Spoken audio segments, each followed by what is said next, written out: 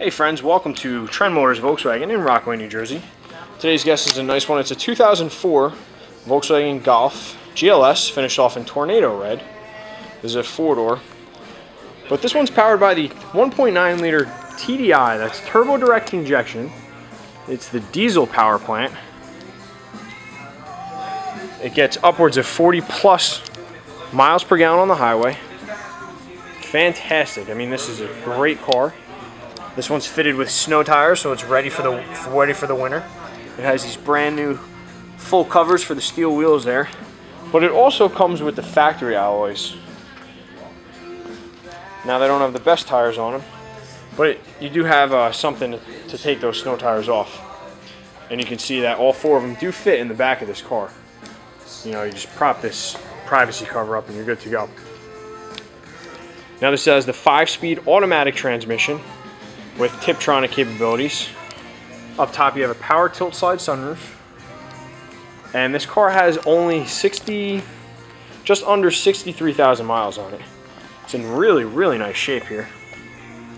Got a couple little chips on the hood there, which is typical. But the headlights aren't cloudy or anything. It's just, overall it's a really, really nice car on the outside. Plus it's a diesel, so it's going to run pretty much till the end of time. Alright, now you have keyless entry, the remote keyless entry. Inside you got power windows, power door locks, power and heated mirrors. They put the, the rubber mats with the Volkswagen logos on the front here. Carpeted mats underneath. Daytime running lights, cruise control. Check that out, ready? 62939, incredible. You got the rear defogger on the window, hazard switch, CD player. Again, there's that automatic transmission. You can shift it manually. Let me show you this. turn the stereo on. Now it has the monsoon system, which is, uh, which I would put that on terms of like um, the upgraded sound system in any car, really. It's fantastic. Volkswagen's new one is called, uh, they teamed up with Fender for the 2012 cars, but back in the day it was Monsoon. That was where it's at. So you can see the sunroof right there.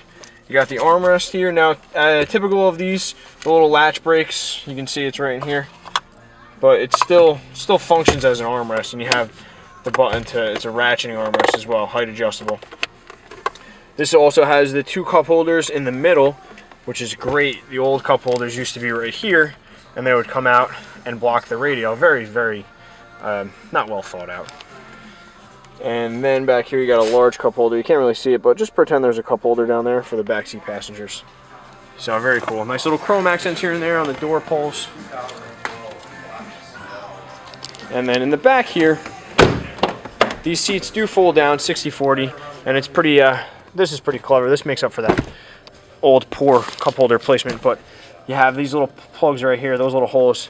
The headrest is actually going to sit sit in there so then you got a nice fold flat. Obviously I can't do it right now, but that's how that works out.